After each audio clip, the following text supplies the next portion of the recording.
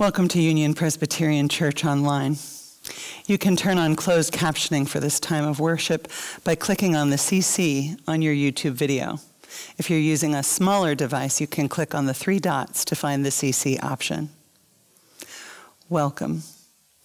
Welcome to this ongoing Christmas celebration. There is good news of great joy for all. It's the day after Boxing Day, and the happy mess of Christmas remains. Our Savior is born, the Messiah, the Lord. A child has been born to us. Glory to God in the highest. And we are God's witnesses. Thank you for continuing with us on this Christmas journey. O Lord our God, we give you thanks for the wonder and love you offer us.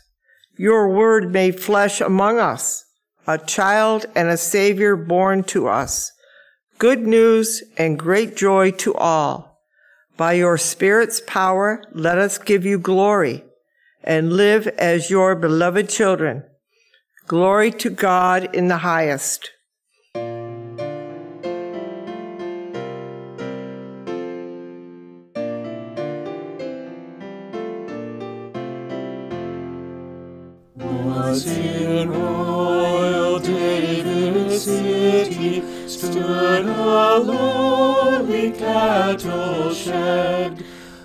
Where a mother laid her baby in a manger for his bed.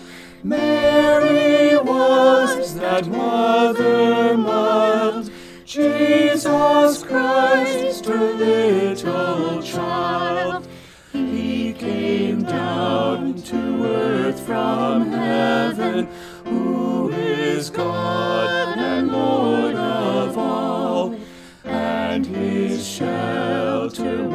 was a stable, and his cradle was a stall.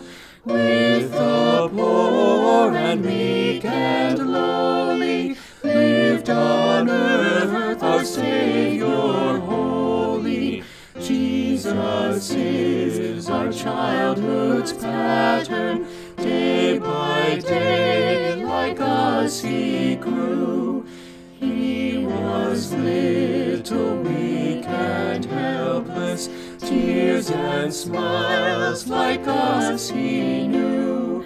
And he feels for all our sadness, and he shares in all our gladness. And our eyes at last shall see him through his own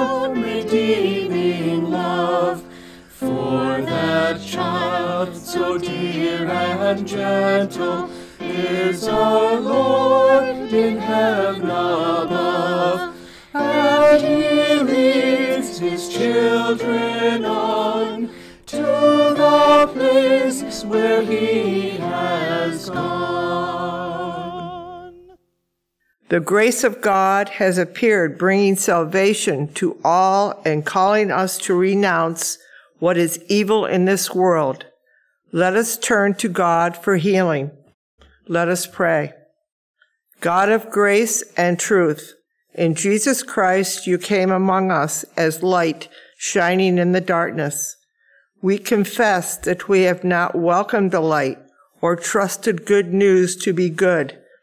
We have closed our eyes to glory in our midst, expecting little and hoping for less. Disrupt our doubt, God of love, and renew our hope, so that we may receive the fullness of grace upon grace and live in the joy of Christ the Lord. We pause now for a time of silent prayer.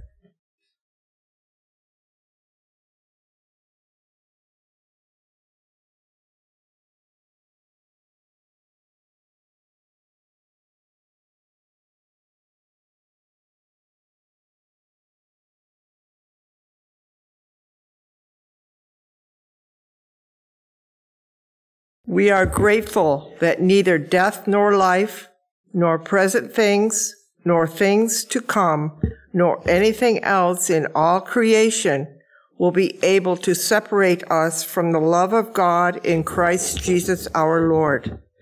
Through the power of the Holy Spirit, thanks be to God. Amen. Let us share the peace with one another. The Psalter reading today is Psalm 148. Hallelujah! Praise the Lord from the heavens. Praise God in the heights. Praise the Lord, all you angels. Praise the Lord, all you hosts of heaven. Praise the Lord, sun and moon. Sing praise, all you shining stars. Praise the Lord, heavens of heavens, and you waters above the heavens. Let them praise the name of the Lord, who commanded and they were created who made them stand fast forever and ever, giving them a law which shall not pass away. Praise the Lord from the earth, you sea monsters and all deeps, fire and hail, snow and fog, tempestuous wind, doing God's will, mountains and all hills, fruit trees and all cedars, wild beasts and all cattle creeping things and flying birds, sovereigns of the earth and all peoples, princes and all rulers of the world, young men and maidens, old and young together. Let them praise the name of the Lord, whose name only is exalted, whose splendor is over earth and heaven. The Lord was, has raised up strength for the people and praise for all faithful servants, the children of Israel, a people who are near the Lord. Hallelujah.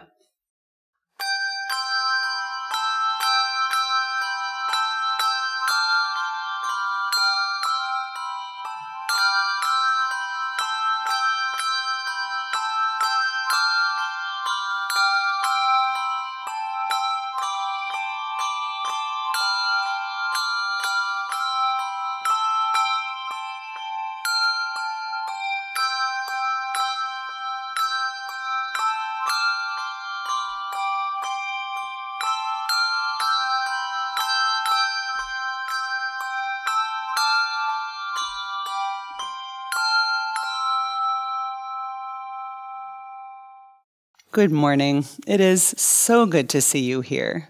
Merry Christmas. Did you have a wonderful Christmas celebration? Did you have an okay Christmas celebration? Was it a little different this year?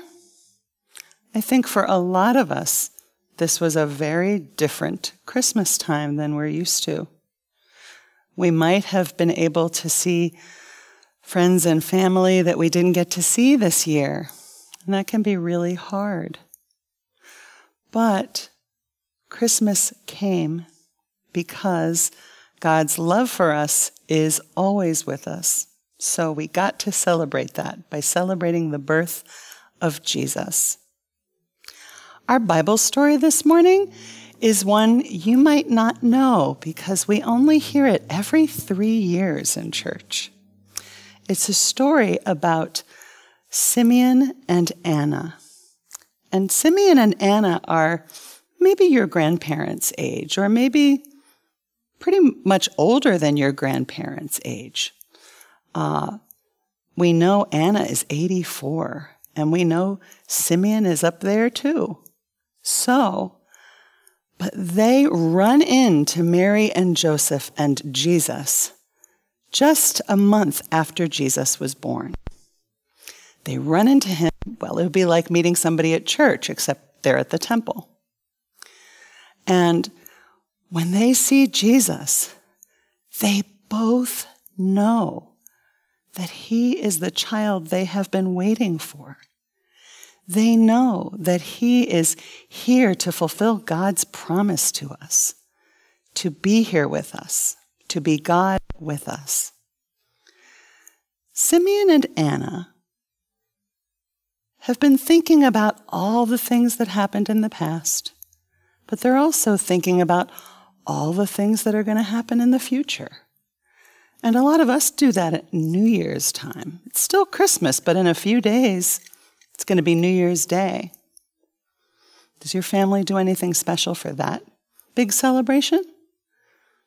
Do you write down or say out loud things that you want to do in the new year?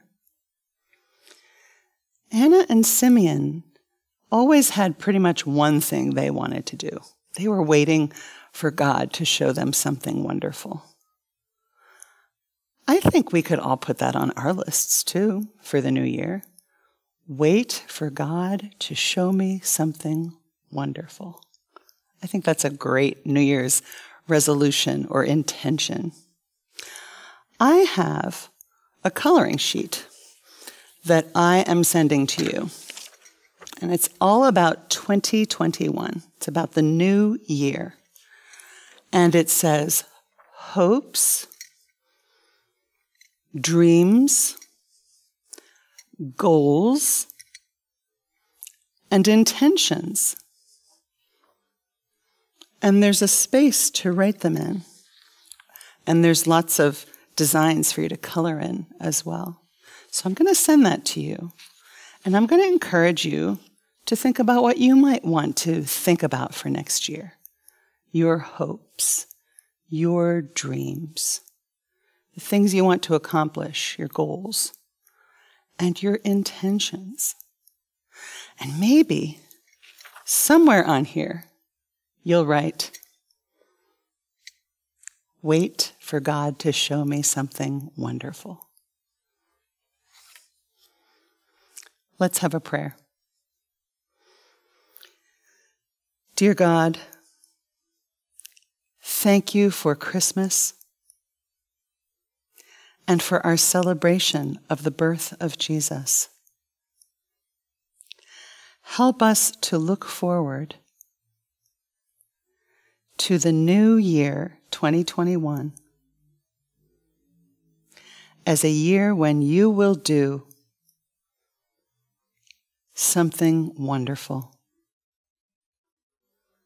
We pray in Jesus' name. Amen.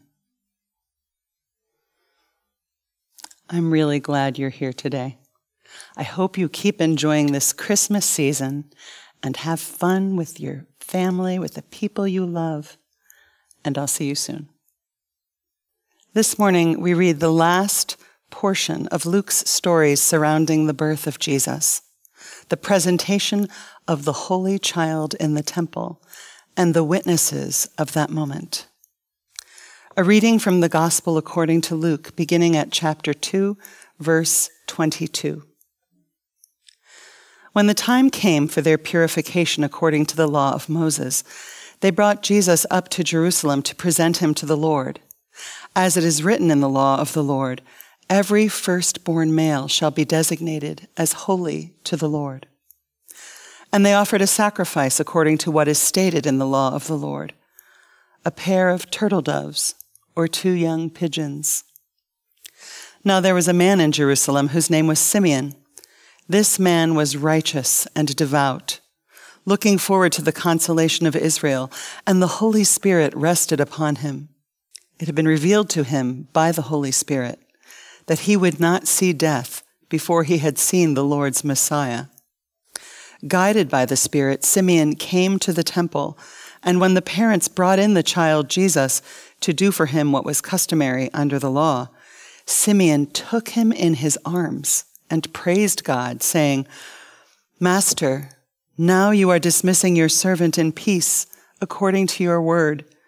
For my eyes have seen your salvation, which you have prepared in the presence of all peoples, a light for revelation to the Gentiles, and for glory to your people Israel.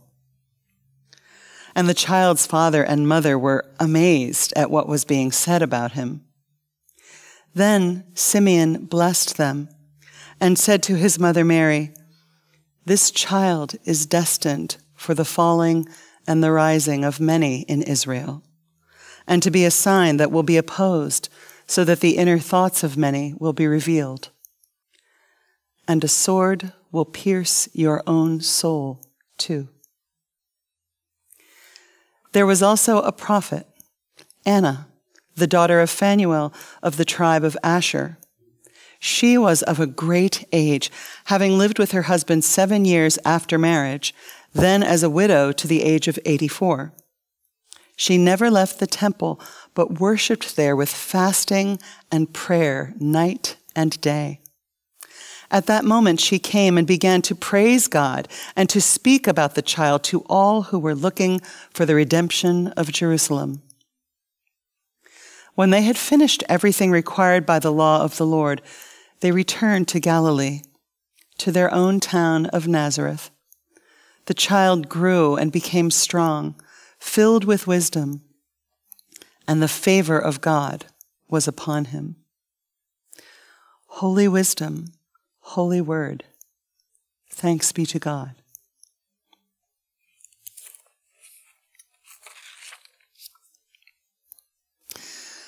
The month of January was named by the ancient Romans for the god Janus, the god of beginnings and endings, and also the god, therefore, of transitions, gateways, doorways, and time.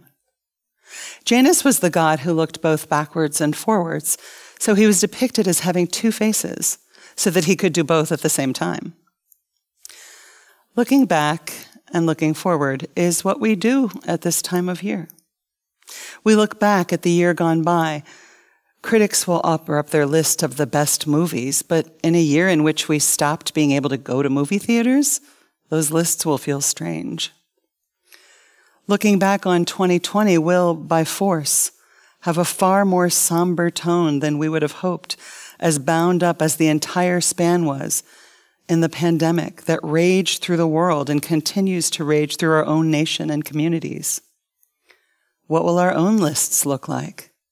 The ones on which we usually say, lose weight, start exercising, read more books. My guess is that this year, more of us will write things like, say I love you every chance I get, and see friends and family as often as humanly possible. The media we consume are already beginning to provide us with photographs and biographies of the famous and infamous people who died this year. People taken all too soon, like basketball wonder Kobe Bryant and his daughter, 13 year old Gianna like Chadwick Boseman, the iconic star of Black Panther, like rocker Eddie Van Halen, and like Naya Rivera, who broke our hearts on Glee and then broke our hearts again when she died while out boating with her four year old son. We will miss our favorite brainy game show host, Alex Trebek. And there are the people who were, as scripture would put it, full of years, like Charley Pride and Ruth Bader Ginsburg, and Sir Sean Connery, and Dame Diana Rigg, civil rights leader John Lewis. And of course, we will also remember our own heroes and heroines who went before us family members, beloved friends, people who, when we were with them, we were home. And those who have succumbed to COVID 19. As I write this, our families, friends, and neighbors throughout the United States have lost 320,000 loved ones to this devastating pandemic. And as you know, we are in the midst of a sharp spike in cases. 320,000 moms, dads, grandparents, sisters, brothers, children, cousins, partners, and friends. A year like no other, at least in our lifetimes. Have you ever wondered why this time of looking back and looking forward is most commonly celebrated by getting good and drunk? I'm thinking this year, no one is asking why. There are many painful realities that will still be with us as we transition into the new year. The vaccines are here, but COVID isn't going anywhere just yet. And as you already know, looking back can draw a sharp red line under the pain that only seems to increase the ache. Thus, the impulse to deny it cover it up with a celebration whose main feature seems to be not being able to remember much the next day. We are looking back, but we are also looking forward. And as we do so, we can look to Simeon and Anna, whose eyes are trained to look for the fullness of the promises of God. When we meet Simeon, we are told he is a man righteous and devout and looking forward to the consolation of Israel. Simeon looks back and he sees the pain, the story of the struggles of God's people. But Simeon looks forward as well. He looks forward to God's consolation. That word consolation is from a Greek word meaning calling near. Simeon is looking forward to a time when all God's people will know that God walks beside them and hears their cries and pleas and calls for help. You could make the argument that Simeon is looking forward to the coming of a Messiah. Simeon sees that consolation in the flesh when he sees the infant Jesus carried into the temple for a ritual of dedication by an unsuspecting Mary and Joseph. Anna, too, looks back on a life with its share of pain. She and her husband had just seven short years together, and she's lived the rest of her life, 50 years or more, in the temple. Anna is a prophet, and that means she's a truth teller. Anna's truth is that she spends all her days wishing and hoping and thinking and praying to God, looking forward to that time when the balm and healing of God will pour down upon her and upon all of God's hurting children. Anna sees Jesus, and her wishes and hopes and thoughts and prayers are all answered. Here is that healing balm of God. Both Anna and Simeon look back and see in the past not just the pain, but also the joy. They see both pain and joy in the future as well, in their own lives and in the life of this tiny child still in the arms of his parents. We hear Simeon's words to Mary and we gulp. Is it okay to say that to a new mother? But this is not just the very real and human story of the life of Jesus unfolding. It's the story of Scripture, too. As we tell the story, we tell it all. We don't leave out the painful bits or the traumas, and we don't leave out the joys and the beauty. We try to tell the truth and tell it whole. Looking back and looking forward. Like Anna and Simeon, we are here in the midst of both a pandemic and the still beautiful celebration of Jesus' birth. God's consolation, God's drawing near to frail and fragile humanity.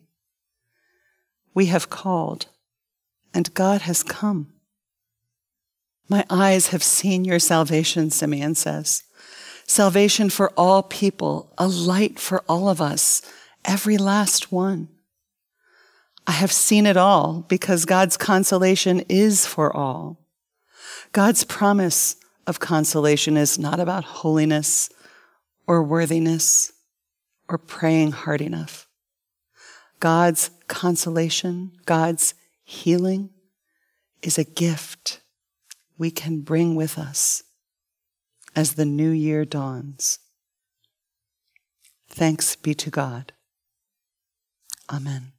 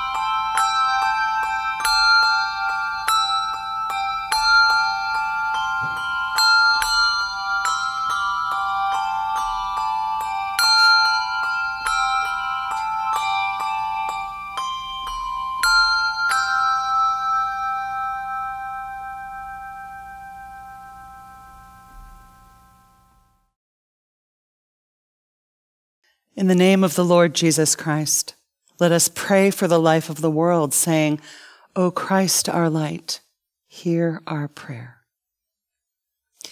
We pray for the church. With Mary, help us to treasure and ponder the gift that has been given to us, a gift of good news and great joy for all.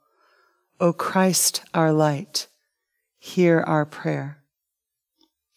We pray for the world with the prophets, help us to proclaim the promise of your peace for all nations and your justice for all people. O Christ, our light, hear our prayer. We pray for this community. With the shepherds, help us to keep watch over those entrusted to our care and all who need protection by day and by night. O Christ, our light, hear our prayer. We pray for loved ones. With the angels, help us to offer signs of hope, comfort, and joy for all who live in fear. O Christ, our light, hear our prayer. Lord Jesus Christ, hope of the world, help us to bear witness to your light so that all may trust and have life in you. In your holy name we pray as you have taught us, debtors, trespassers, and sinners together. Our Father, who art in heaven, hallowed be thy name. Thy kingdom come, thy will be done, on earth as it is in heaven. Give us this day our daily bread, and forgive us our debts as we forgive our debtors. And lead us not into temptation but deliver us from evil. For thine is the kingdom and the power and the glory forever. Amen.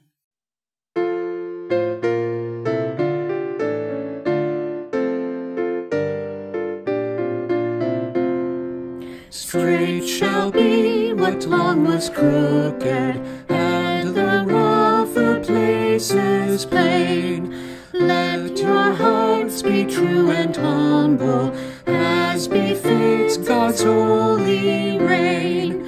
For the glory of the Lord now on earth is shed abroad, and all flesh shall see the token that God's word is never broken.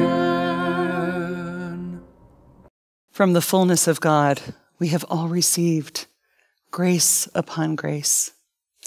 Christmas is an invitation to a grace filled life for us and for all God's children. We want to be a part of it. Let us pray.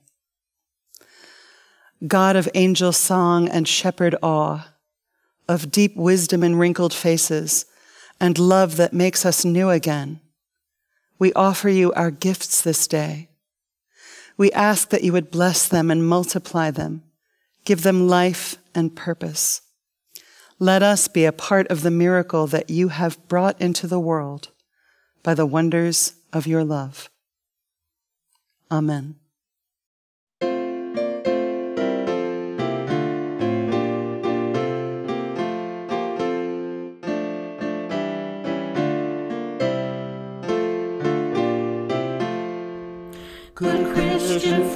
Rejoice with heart and soul and voice.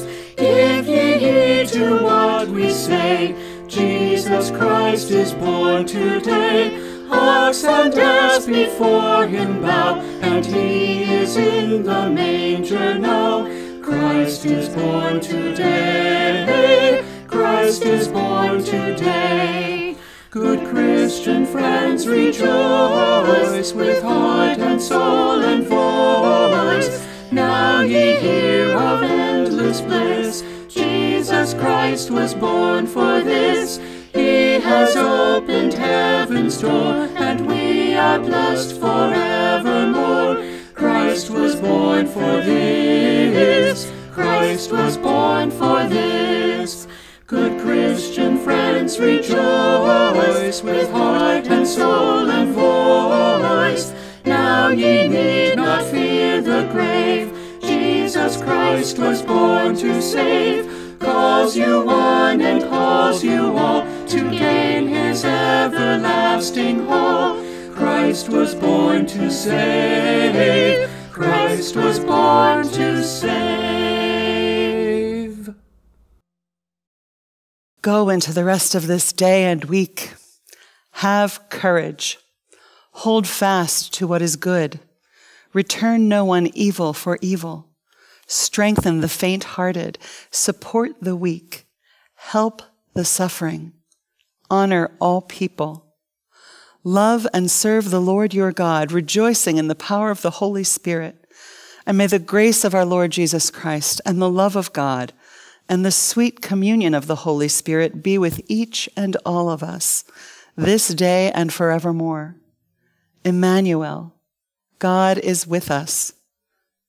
Go in peace. Thanks be to God. Amen.